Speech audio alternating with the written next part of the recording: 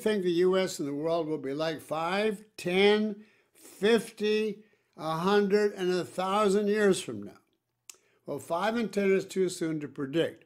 100 and 1,000 is too late uh, to predict. So the only one I could hope to predict is 50 because there's a chance for current trends, there's time for current trends to come out to the full, and yet not so far away that those current trends may make radical uh, changes. And looking at it from that point of view, in my book, The Dim Hypothesis, I actually predict what I think the most probable outcome will be in 40 to 50 years.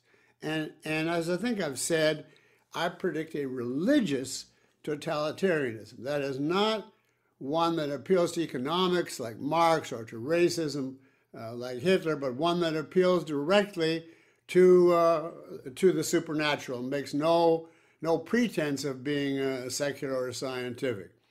Uh, I think there's a lot of signs of that now, and um, you read my book as to why I predict that uh, and uh, see what you think.